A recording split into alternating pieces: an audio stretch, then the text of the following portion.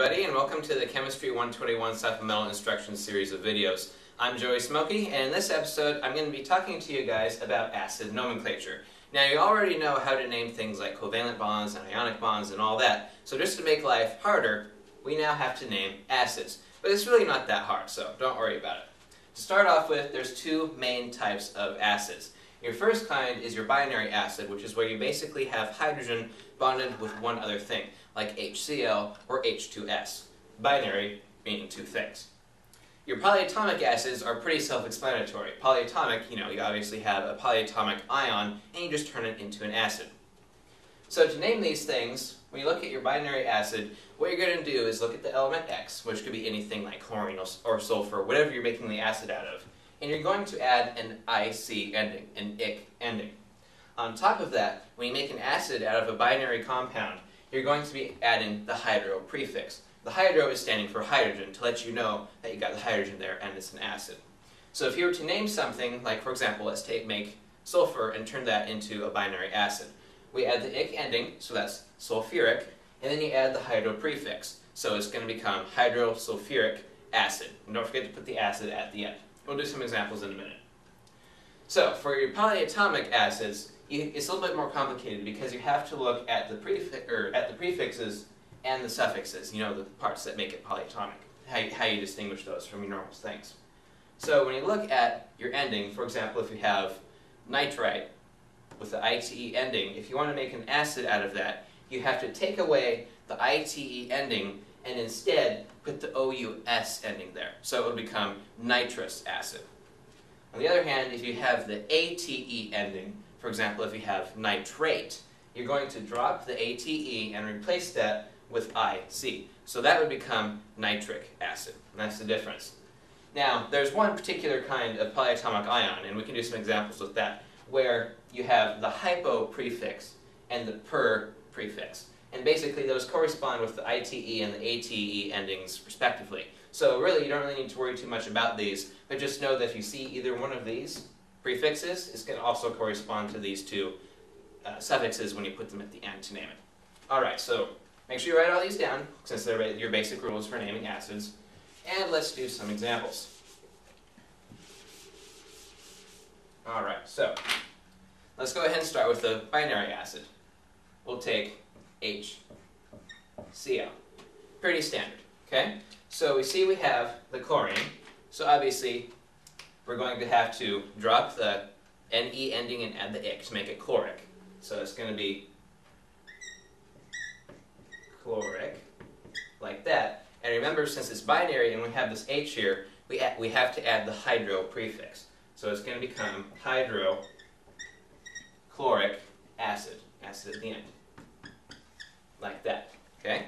Now, let's go ahead and do one more, and we'll say uh, H3P. So we have phosphorus, and we're making a binary acid out of this. To do that, we have phosphorus, so it's basically going to be phosphoric. Because remember, you have to phosphoric, add the IC ending, and then obviously it's an acid, so acid over here. And remember, it's binary, so you have to put the hydro prefix. So hydrophosphoric acid. Now notice that this isn't exactly two things. There's actually four things here. But it's still considered a binary acid because you only have two particular types of elements involved, hydrogen and phosphorus. So that's why it's still considered a binary acid. Okay, so there we go. Those are some examples with your binary acids. Let's take some examples with some polyatomics. Okay, so let's go ahead and work with the chlorate ones perchlorate. You may not have to memorize these for the particular class, but I encourage to practice naming these ones because it's really helpful to really understand how to name your polyatomic acids. So we have the perchlorate, the chlorate, the chlorite, and the hypochlorite. Like so. Now notice here, remember how I was talking about the prefixes and the suffixes kind of seem to go hand in hand. When you have per, you also have ate. When you have hypo, you also have ite. Okay, so basically all you got to look at is your endings. So when you're going to name these guys perchlorate, it's pretty simple. Drop the ATE and add ICE. So this will become perchloric. Remember to keep the prefix there. Perchloric. And obviously since we're making it an acid, we have to add the acid. And for this particular one, it would be HClO4. That's what it would look like. Now we have chlorate. Again, we see we have the AT ending, so we have to replace that with the IC ending for an acid. So it's going to become just chloric acid. Chloric acid. And if you know this polyatomic ion, when you make it into an acid, it's going to look like this. HClO3, like so.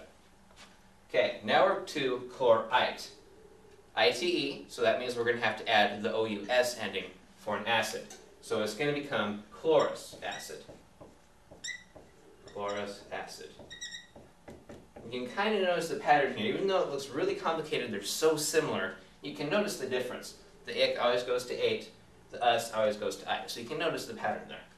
So chlorous acid is going to look like this. HClO2, like that. And finally, we're at hypochlorite. Make this into an acid, keep the prefix, and then add the OUS ending, so it will become hypochlorous acid. So hypochlorous acid. And the formula for this is going to be simply HClO. And you can also notice the pattern here. The O's just drop down one each time. Four, three, two, just one. So you can kind of notice, relate that to your endings and how they name it to acids and all that. It's all linked together, you just got to figure out the pattern and you'll be perfectly good at it. So there you go, that's the basics with acid nomenclature. It's not too hard, but just make sure you go out there and get some practice and really understand how to do it. Alright, go out there and have some fun with acids, but be careful because you might get burned.